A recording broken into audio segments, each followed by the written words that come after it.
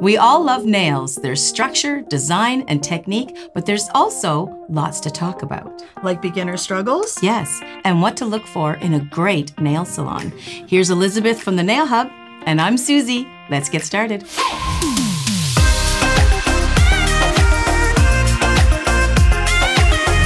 So Liz and I wanted to get together and chat about the nail business. So we got some tea, some comfy chairs, and we have some great questions from some viewers that we solicited just yesterday, wasn't it? Yeah. Yeah. So on my Instagram, viewers posted questions, and we are so impressed. They're absolutely sophisticated and diverse questions that we want to address today. So get me glasses. And one great question that we have from It's Brittany. She says, What's the best way to go about finding a good nail tech in your area? It really sucks paying $80 for them and then being a mess. This seems to be shared by a lot of people who are very interested. That's a really good question. Yeah. So, what are your thoughts? Well, I think one of the best ways to find good salons is to utilize social media. I know mm-hmm. the traditional routes used to be just look something up on Google, look for, you know, nail salon near me. But also using hashtags for your local city with salon on the end really helps to to highlight some of the photos from local salons and you can kind of Yeah. test their work before you book an appointment. And I think also word of mouth and your girlfriends. Your girlfriends have a tap on that industry big time. I also think that when you find a salon you're interested in, maybe you don't have a girlfriend to give you a word of mouth or a, a suggestion about it, Mm-hmm. go get one nail done. Check them out. Oh, that's a Yeah, cool thing. they should do it maybe for free. If not, it's like five bucks or something. Mm-hmm. But get it done. Check out their whole facility. Check out their atmosphere, their attitude, how they do it. And then before you go get the rest of them, you'll know. yeah. I think you can tell a lot of the energy when you walk in. I totally agree. How do you do someone else's? This is a great tech question. How do you do someone else's nails without ruining your own? That's great. This is from Zoe K. Zill. well, she's probably wearing nail polish. Yes, and the invention of gel polish for nail technicians is genius. Yeah. I also, um, I'm pretty, you know, I get in there. Mhm. And I will cut my fingers sometimes because I use my fingers as a shield, which is I'm not advising to do that. It's probably a bad idea. So I have learned to find these little vet wraps. You ever heard of these? Oh, yes, yes. Mhm. They don't stick to your skin, but they stick to itself. They're meant for animals for fur. Mhm. You can find them at a drugstore. That's a great idea. Yeah. uh, I usually wear great. gloves. You wear gloves. I'm Okay. a glove girl. Yeah. I wear gloves all the time. Do you not file um, through it sometimes? Sometimes I do, but it helps protect my own nails. Because even if you have artificial nails, it's not just nail polish. I scratch up my nails just Yeah. working on other people. Yeah. It's You just par for the course. Yeah, it's very true. Okay. Uh, this is an interesting one. Oh, this it? is a long one. yeah, this is a long one. Wow. This is from, oh, I don't even know how to pronounce that one. Uñas gringas, Oh. tabate. Apparently she does. Does it happen to you guys when you have a client coming back with nails that entirely pop off? I'm curious to know if it does happen to super pros like you two, because I'm new in the business and when it happens to me, I feel hopeless and I feel like it's the end of the world and I don't know what to do. If this actually happens, I guess I feel better about myself to know what we're doing, but it would depend on the answer. Also, if this already happened to you, do you charge for it? Mm. Or do you give a discount because you blame yourself? Thanks so much. I love you both. Oh my gosh, that's a really, really It is a good question.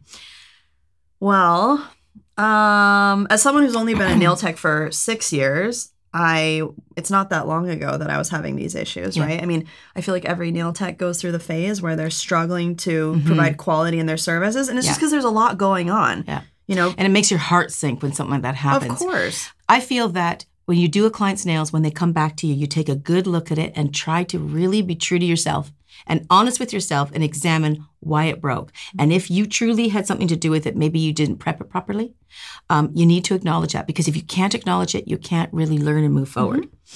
And if you feel like they dropped a suitcase on it, you know, something's got to break. It's Yeah. going to break. Absolutely. But if you feel there's something you did, like maybe you look at it and there's structure that you missed, or the side was thin, so it did crack there and then it broke, then you can say to them, Oh, you know what? Let me just take care of that and help you out and fix it. And it depends also to try to examine who they are as a client. If they're really emotional about it, if they're really upset, you know, you want to kind of make them feel better and make them feel the warm and fuzzy so they will diffuse return. the situation.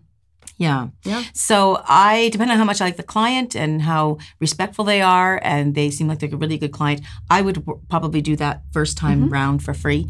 And like I say, learn from my mistakes, and, and it shouldn't happen again. And the other thing too is sometimes, I mean, I, I used to have a 72 hour policy because Mm. usually, especially with gel, not so much with acrylic, but with gel, a lot can happen within the first 72 hours if it's not cured properly. Right. So if it's going to bubble, it's going to peel, it's going to pop Right. off. Usually, if it's something that actually happened because the nail tech didn't do their job correctly, Yeah. it happens within the first 72 hours of the appointment. Interesting. So that's a good way if you're a gel person to identify, hey, was it because it wasn't cured? I didn't apply it properly. If it's after 72 hours, it's probably due to the client doing something, maybe using their hands like tools. Mm-hmm. Um, and I do know some clients, I think I think just out of, you know, not knowing what the cause of the problem is, will tell you my nails just fell off or my nails just popped off mm-hmm. magically.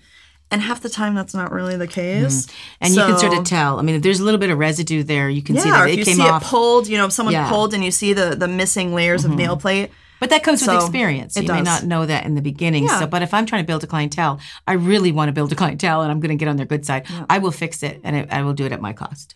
Absolutely. I, I used to do free fixes, especially if it was something that happened shortly after the appointment. But if someone contacts you 10 days after their last appointment and says, I broke a nail, will you fix it for free?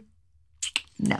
Yeah, and again, I would actually look and see if I had something to do with the fix. Then I would. I also had a policy that if you phone me by about 11 mm-hmm. or noon that day, I would do my very best, like 99% of the time, to get you in that day. Yeah. I but do you didn't want my charge for it if it's like two weeks No. after? Um, I probably wouldn't. Really? Yeah.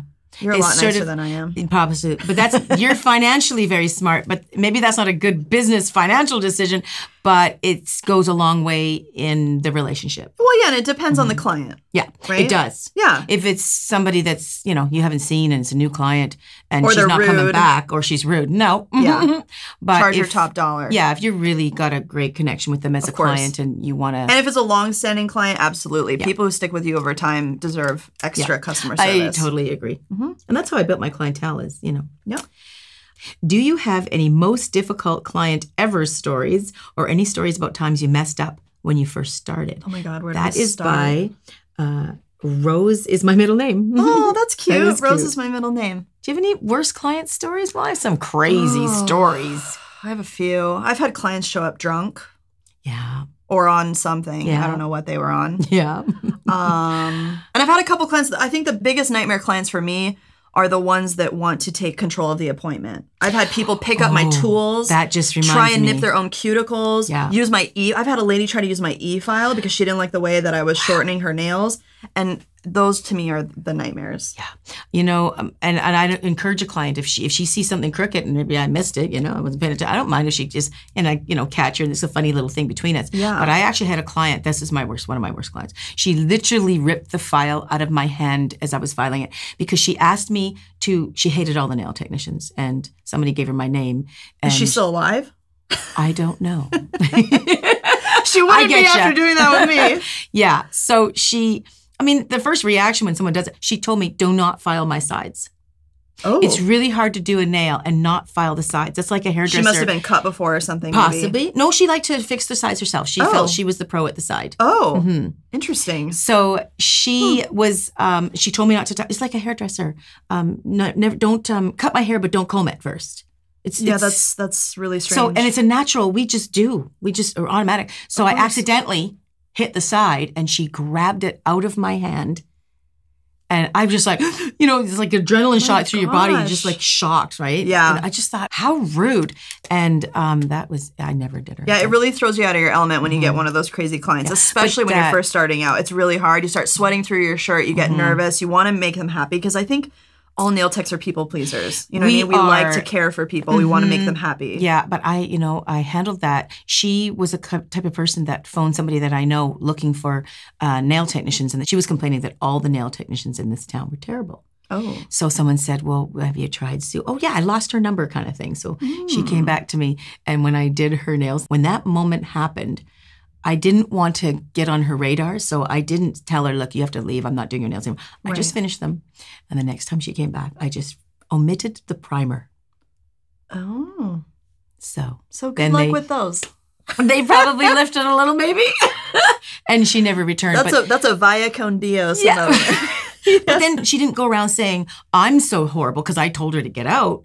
She just didn't return, and, and I'm under the heading of all the nail technicians in this town are terrible. So That's wow. I just didn't want to get into a fight. I'm- I don't want to be confrontational. I think most clients have good intentions, but there's those few that Yeah. I think just. I, and you don't come across that very often, which is Yeah. which is really nice. But don't feel bad. It happens to everybody. hmm It really does. I lost my spot. I hit the thing. So this is a really great question, and my heart broke a little for this Mm. one. Uh, Lina, Lina Na, Nadina. Le- Lena Na, Na oh Lena Nadine C I think or Mhm. Lena Nadine Nick. We'll put Something? it up there. Yeah. Why am I fifty thousand steps behind all the other nail techs I went to school Oh with? no. Why is something I love so much so hard for me? Does that mean it's not for me or I can't do it? Oh, sweetie. That makes me feel really bad. yeah, it does because it's you're probably not as bad as you think Yeah, because you're probably being hard on yourself, which is why you're asking the question. Um, and confidence is one of the biggest issues I find in the industry that we all suffer with, whether we've been in it for two days or you know two decades. Yeah. Um, so my advice to you would probably be, first of all, take the pressure off yourself. This is a creative field. When you go in to do a pottery or a painting, you're not want to put yourself on a deadline to try to keep up with everybody in the class. This is art. It comes from your heart. You want to create and you want to give yourself time to do that. Mhm. So I think take the pressure off yourself first of all, right away. Do you have anything you want to add to that? Yeah, I think um, I think these days, especially with social media and pictures that are photoshopped within an inch of their life and filters and all these things, Yeah. it's so easy to get really stuck in comparing yourself to other people. Yeah. Everyone has their own journey in this industry, so try not to compare yourself to someone else and practice. I mean, seriously, Mhm. practicing is the best way to do it. Yeah. And I think one of the hugest things you have that many don't, which is passion. And passion goes a long way, sweetie. So, I agree. Yeah. I mean, she's got a lot of heart. yeah, that was Yeah. um, really sweet comment. Okay. And this is a really great question from Moran. Miranda Lynn Ellis. What question should I ask the nail salon before booking a nail appointment? I have been to so many salons that will rip off the acrylic instead of soaking it off. Ooh. Of course, it's frustrating since I know it's not the proper way to remove them. No, you're right. That is not the proper way to remove them. Yeah. Um, what are the questions you should ask a nail salon? Hmm. We're really looking at it from your guys' point of view as the nail uh, client looking for a nail technician. So, experience, you want to find out how much experience the nail technician has. And again, I think people can talk all they want about their skills and what they do, but it really speaks for themselves when you see the work. So, I would still go back to that get one nail done. Yeah, get one nail. It speaks volumes. I always review pictures and reviews of a business before I visit. Yeah, I'm just one of those online reviewer, deep dive kind of people. I always do like reconnaissance Mhm. on someone's business before I go. And that is a form of modern day social media referrals. So yeah, because I it used to be you ask your neighbor, right? It used to be, hey, you know, where do you get your nails done? Do you like Yeah. them? Nowadays, a lot of people don't even know their neighbor. Yeah. So they use social media for that, like Yelp or Google or Instagram or whatever. Yeah. But um, I also, just because of the questions I used to get asked at, at my salon, a lot of uh, clients used to ask me about the products that we use, what kind of services we provided. And a lot of times you can tell if they use words like drill or they use words like full sets or or sometimes there's a certain lingo like if people actually have kind of a specialized way that they say they specialize in something we specialize in artificial enhancements we specialize in you know custom designs sometimes that kind of can show you that there's something a little bit more to that place Right. rather than maybe more of a factory line salon Mm. that really doesn't care. Um, and also, maybe if they spend a little bit more time on the phone explaining with you what the service is, if they are literally like, make an appointment or I'm hanging up on you, then that also gives you some insight into Mhm. the whole situation. Yeah. No, I think that's that's good advice. So here's a great question from Bella for less. Yes, Bella for less. Yep. Advice for nail students about the time that it takes to do a full set, the struggles and insecurities happen, what to invest and what to hold on purchasing. Oh, that's a good that one. means- yeah. Oh, that's one of my favorite topics. Okay. About being too hard on yourself, about keeping an eye on your costs and know your costs so you can make it in this career. Oh, that's Yeah. a really good question. So. I'm going to take this. Um, how long does it take to do the full sets and the insecurities and what to invest? So when you're first learning and you're doing clients, you're always trying to think of doing it faster because you're trying to keep up with everybody. But learn how to do your craft good before you learn how to do it faster. I think that's that's a really very, good point. very important. The second one she asked here was, what products do I invest in? Well, you could spend a bit of money. It doesn't take too much when you just start with your base products and Mhm. your tools, but when you're starting to buy the accessories, like all your nail polishes and your gel polishes and your different colored acrylics, for gel polishes, start with your basic colors, your black, your white, Absolutely. your rose pink. Primaries. Yeah, the red when the Christmas is coming and add some gold and silver when those seasons come around. And maybe when February comes around, you add some extra pinks and stuff for um, Valentine's. Before you know it, 12 months later, you've collected a whole season's worth of nails. Absolutely. And you are an expert in a financial and about being too hard on yourself, keeping an eye on your costs and know your costs so you can make it in this career. hmm It's really great for beginning. That what is do you, what do you say about that? Well, I could talk for hours Yeah, about this she topic. but to boil it down, everything that you use in an appointment has a price to it. And so you have to take that into consideration when you're thinking about how much you're going to charge the client and how much money you're really making on the service. So, one of the biggest mistakes that I see that a lot of nail techs do is they buy the whole kit and caboodle from day one and they don't actually have the pricing structure in mind to realize that every glitter, every gel polish, every crystal that you buy has a price tag on it and you've got to cover that price when you're doing the actual service. So really try to keep things simple. It's going to make your life a lot easier and like Suzie says, as you progress through your career, you can always buy more colors. They're going to be there for years to come. They'll wait for you. Start with the really basic stuff and that'll really make sure that you're making a profit from day 1. You're going to love this question. So, Michael Gustavus asks a great question. This is a charged question for you and I. Oh, What's something you feel needs to change in this industry? Ooh. Hang on to things. you know, Liz and I really feel quite the same about this. Yes, we're very passionate. Yeah, we're very passionate about it. And, And I'm really think- opinionated. Mhm, Yeah. She is. And I think our channel speak for that. And that is we feel everybody has the right to be in the industry. So we share our information on YouTube and Instagram, all social media, Mhm. so everybody can have a part of it, whether you're licensed or not. I agree. Licensing doesn't exist everywhere. So for me, I mean, as someone who started my passion playing around with nails unprofessionally, just buying stuff and doing my own nails and doing family members' nails and learning from YouTube and some great channels that I started with way back when, I really enjoy collaborating with people like Suzie and sharing our knowledge. And nails are so fun. There should be no rules or barriers to entry. It's art, it's expression. So why should there be limits on who can partake? Yes.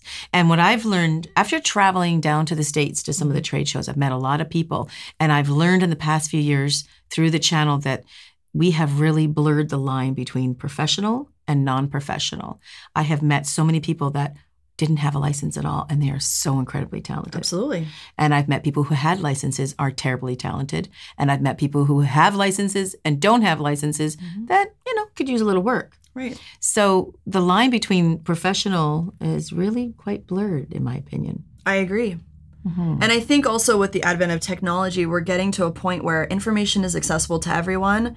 So a lot of the stuff that we had in place back in the 80s and 90s or even 10 years ago isn't really relevant. So my biggest thing is I think it's time to review the way things are Mhm. and not just keep trucking forward because that's the way it's always been done. yeah. right? Maybe it's time for new things. Yeah, I think it's time Mhm. for new things. I think it's always good to share. And like Leonard Nimoy, one of my favorite quotes from Leonard Nimoy She's a nerd, and that's the more you right share, there. the more we have. Mhm. So Yeah, yeah. seriously, Yeah. I just I don't understand all the protectionism. And the new phrase "sharing is caring." Sharing is caring, we have proven that. Liz brings up a very good point, but we do want to stress that wherever you live, if you have rules and regulations, we don't want you to break those rules or any protocol. You still have to follow those because that's the standing rule as it is now. Correct. Mhm. Yep. Here's a great question. After following that loaded question, Those are the fun unicorn or mermaid? This is by. She in She in no What the she She in nail edit. she nailed it. She, nailed it. She nailed it. Okay. or something. I think. Okay, so she unicorn or mermaid. Now she's talking chrome. I am mermaid all the way. See, I'm unicorn. I'm Really? all magical, whimsical unicorn. well, I love unicorns, but the mermaid is so angelic and so butterfly wing. Yeah, and, And- see, I like unicorns because they're awkward and weird and mystical at the same time. And sometimes they poop glitter, which I mean, it's awesome. I guess I'm more your chubby fairy godmother type. and I'm good with that. okay. Um, oh, this was a really great question. Baby no face? Uh, I think so, yeah. Mhm. Baby no face. Hello, Suzie, fellow nail tech here. I was wondering if you could solve a problem for me. I always use clean tools and I always properly sanitize and a clean workspace. I use Build Your Gel on my nails, but on one of my nails, it developed a small green spot. Mm. Doesn't smell. It doesn't look dangerous, but it doesn't look normal. Mhm. I'm super clean, but I'm wondering how can this happen? What am I doing wrong? Should I be concerned? Great Ah, question. I know what this See, now I will say. I am a nail tech and I've seen this a few times and I know how it happens and I know how to take care of it, but Mm-hmm. I don't know the technical names. So go for it. Yeah. Enter nerd. Yeah. It's called Pseudomonas. It's a bacterial infection on your nail plate, and it can happen from bacteria that was on your nail plate before you put your product on, or it can also happen from lifting and water and nasty stuff gets in there. Um, it's not dangerous. That's really important for people to know. And it doesn't smell and it doesn't hurt. No, it's just unsightly. And the best thing you can do is take off your enhancements, allow your nail to get exposed to oxygen because oxygen kills Pseudomonas bacteria. And you clean it and you can apply a nail again if you can remove most of it or clean up most of it. But if it is Yeah. heavy in color like a green blue and it's getting to the no, don't do nothing. Mm-hmm. Don't touch you it. need to leave that baby alone. Yes. Um, I want to interject something here that is a bit of an issue. We have the dipping systems out there, yes. and they are full color. Yeah. And this can happen with acrylic too, if you're putting on full color liquid and powder. Absolutely. If you're putting a full color on your nail and you are not Straight on the it nail bed. straight on the nail Yep, bed straight on the nail bed with no clear base. with no clear base, and Mhm. even if you did put a clear base, if there's a bubble under there, hmm from moisture from your natural nail plate that has come up and risen up through the natural nail plate because we are organic. Sometimes we have a little oil. Oh yeah, we have yeast, we have Mhm. bacteria, we have oil, we have all kinds of stuff. so with the dipping systems, it is actually covering the nail. And if you are not taking that down every single time as a nail technician or as a client, if it's not coming down every time to your natural nail bed, Yep. you can't see that. You could go months and months and it's they're just putting new product on top Yep. and they wouldn't be able to see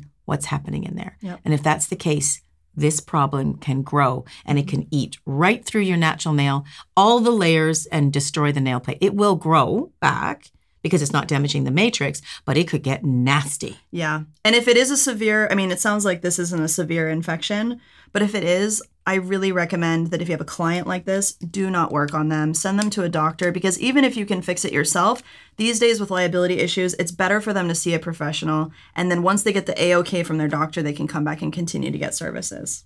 Yeah, I couldn't agree more.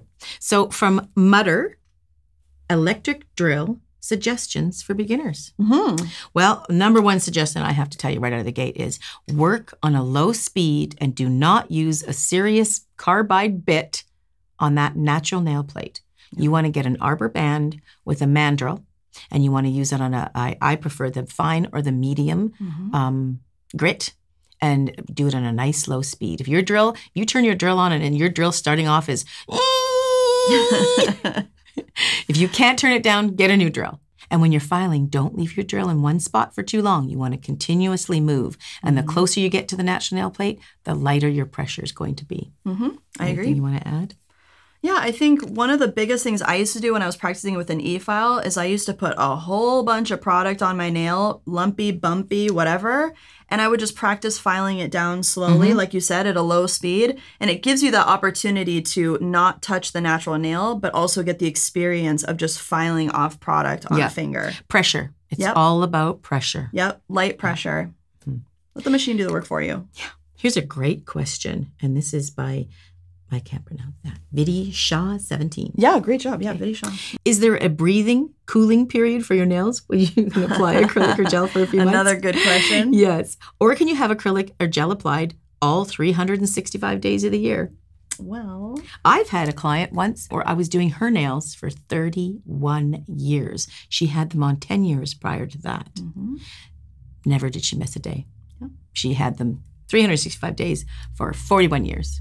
So there's never a problem unless there's a problem with the acrylic. And that is a skilled nail technician will be able to take up everything that needs to be taken up if needed. But if there's no problems, then you can keep filling those nails. There's, there's no problems. Absolutely. I think I've had gel on my nails consistently for the whole time I've been a nail technician, maybe Yeah. even longer. I've had them on for 32 years, but there was an eight month period where I took them off before all this information was so readily available. I wanted to see how my nails were going to be. Mm-hmm. So I took them off and I left it for eight months and I couldn't stand it anymore. I had to put them back on. my nail plates were as healthy as ever. Once you go had any- nails, you can't go back. That's right. Here's a great question. Gracie Pie 01. You both are pros at different mediums. Hmm. What are some of the upsides of the other that you like? It's a great question. I will have to, can I just start with Mm-hmm. Yeah, that? go for it. I am an acrylic freak. And I will be honest, I was a gel snob because when it came out in the 80s, it was brittle, it was flaky, it was yellowy. I just really hated it. It was bad. And then the 90s, they kind of revived themselves and they came back out and it was actually pretty good. But I never really visited it because I was such an acrylic snob. Mhm. But I have been playing with it a lot lately. And I absolutely love it. The clarity, the when you put it on and you just watch it work for you. Acrylic doesn't do that. Yeah. You got to really work acrylic. Yeah. But I, I that's what I'm loving about it right now. I'm really having a lot of fun doing it. So for me, that's the upside: the clarity and watching it work for you. Mhm. Do you That's like good. acrylic?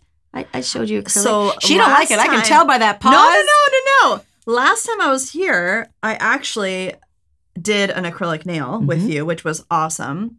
And a couple of things that I noticed that acrylic can do that gel cannot is one, I would say for people who are just learning how to do nails, sometimes acrylic, mm, I, I mean, I feel like acrylic is easier to file on. It's it's like you can Hmm. you can load it on there and you can you can take your time filing it down. With gel, I feel like gel's a little bit more finicky if you file too much off or you, you know, don't quite do enough. I don't know, I feel like gel is a little bit more sensitive. Hmm. And acrylic you can do whatever you want. Right. Um, the other thing that I love acrylic for, one of the main things I love acrylic for is 3D nail art. Roses, bows, you know, little faces if Mhm. you want to do 3D stuff. Yeah. There are products that are made in gel Mhm. that do that, or there's Yeah. ways to mix gel to make kind of a putty that you can make 3D nail art out Yeah. of. But all of the art I've seen Mhm. that is just so beautiful is acrylic. Yeah. Yeah, no, I agree with you there. The acrylic 3D I just think is It's gorgeous. great though how we can find the beauty in each other's side of it. Yeah. And I think for competitions, acrylic is amazing too. It's so fast, you know? Yes. Doing pink and whites and gel is no joke. Yeah. No, you're you're absolutely right. So what do we have next? Kay Penny 2017 says, Suzie and Liz, you're both fabulous. Can one or both of you touch on the proper mm. way of sculpting and hand filing a nail? I can never get that perfect dolphin nose. The dolphin nose. Wait, so Yeah. what's the dolphin nose? Well, I kind of refer to it as when you're doing an almond, um, it comes Mm. into you like that. Oh, it is like a yeah, dolphin yeah, it- nose. yeah, it is. it just does that nice swoop. yeah, just comes right down. I a like that. Yeah. That's a cool that's a cool way to describe it. hmm So for me, you got a Mhm. file. Yep. I take it and you literally look down the barrel of that Mhm. nail and literally just sculpt it like that. Yes. So you can see it coming towards you. You can do it sideways, but the, this is the best angle Yep. is to just to scoop it down. Make sure your file is on an angle where you're scooping it down. Yeah, that's Did exactly the same thing with gel. Yeah. I call it the bullet. Ah, okay. Bullet like that. We but- have our own little. Yeah. I got lots of Yeah, little phrases. Absolutely the same. use. And you can do that after you e-file too. So if you like to e-file, I usually will take a hand file at the very end and just do straight Right. down. Yes. Yeah. Just to Gotcha. Yeah, refine that little to- lip. You can't really do it as well with it. I have e-file. never been able to. Yeah, you got to do it with Yep. the file. So Trin Girl 9 says Mhm. tips on encapsulating glitter without the nail getting super thick. Mm. Yeah.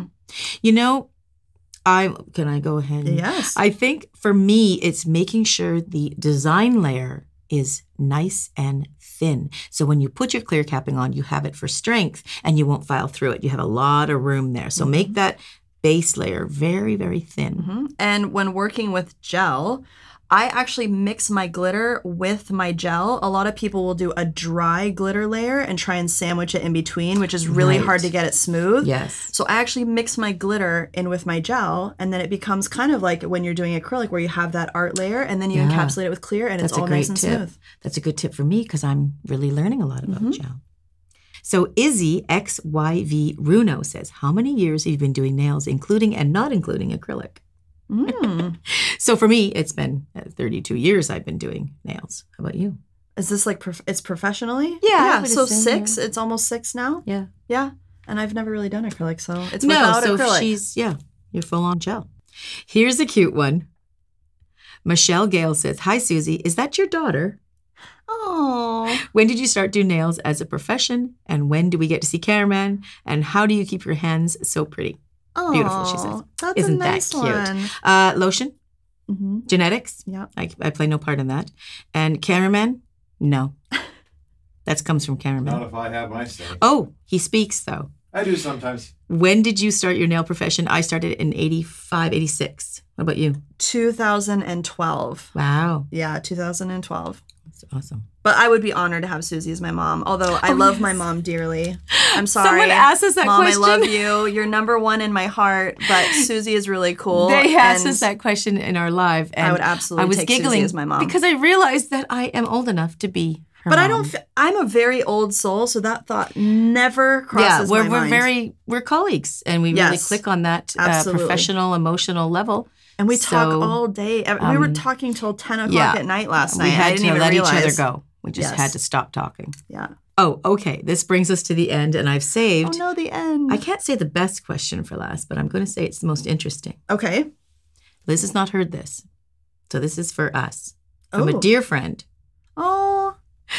Selena Ryden says, if a client shows up and she wants to get penis nails, what would you do? When and where do you draw the line on clients' requests, and how do you say no and explain why in the best way without offending the client? Which is a very good point. Miss you guys. Drink some tea for me. Oh my goodness. That's a good question. That is a really good question. I have Um, not practiced the penis nail, and I don't foresee it in my future. Is it is it one on top or is the nail a shape like the whole nail is I'm kind of conservative when it comes to things, so I haven't really seen a lot of this. I try to stay away from a lot of that controversy. and to each his own you know if you want to do that kind of art for me i'm not really into a 3d kind of nail Mhm. i don't even go in for like the giant 3d flowers but i Mm. love them they're beautiful but i like more of a inset and inlay Encapsulated. yeah and sort of Yeah. a smooth like i still want to maintain that shape of the nail The i like the design to be all inside of it I like that. Yeah. so for me, it's not going to be in my future, but Mm-hmm. if a client wanted it, I would probably just say, oh, you know, like an art. I mean, you don't walk into an art store and say, um, you know, uh, the paintings you do here are wonderful, but I'd like to see something in a watercolor and you're staring at oils. Right. They don't do. Or asking Watercolor. Picasso to do a Warhol. I mean, it just it doesn't, Doesn't work that way. So for me, I would just say, oh, you know, that's adorable, but it's not for me. This is my style. And Yeah, I agree. I think that's a very diplomatic way to approach it. I also think that what you put out is usually what you attract. So if you always post pictures and promote the stuff that you actually like to do, very rarely you're going to get confronted with someone coming to you for something completely opposite because they already kind of get the sense that you're a specific type of nail artist. It's very true. I mean, if you want to be known for French and you do French well, do it on your own nails Mhm. and your clients, and you'll attract more of those clients and you'll do more of that kind of work. And then it will get out there who does that beautiful French Yep. or ombre or whatever it is that you're doing. And then the client will definitely be drawn to you for that expertise. So if you're doing those uh, different kind of out there kind of nails, which I can say in my opinion, I don't think you can really build a clientele on that kind of a fatty, trendy nail, in my opinion. Yeah, I think I think a lot of work goes into it. I think it's very creative, but Yeah. I think it's kind of clickbaity. It's, Sure. You know, it's like, Yeah. oh wow, wow, wow, look at this, and Mhm. it's. I agree. It's maybe not something that you're Mhm. going to do. And having time. said that, I do tell my students when they're trying to get out there in social media to do something crazy on your nails. Do something fun. Yeah. Do something that catches the eye. Um, that may not be my recommendation to do a body something that your- part. Yeah, maybe not something your grandmother's going to blush when she sees your nails. you know, to each his own. We don't want to judge anybody, but if for me in particular, it's not for me, and I would just explain that to my clients, not myself. Yeah. I'm wearing a turtleneck. I'm super conservative. We're drinking Covered. tea. Uh. We're drinking tea with nothing in it. yeah, and I finished my tea, but I think we should do a little honorary We should do a little to our buddy. Cheers. We miss you, Selena. Thanks for joining me, Liz. This was great fun. I think we'll be doing this again. Maybe we'll add Selena next time when I she hope comes so. out. Yeah, we miss her. Thanks for joining us. We'll see you guys in the next video.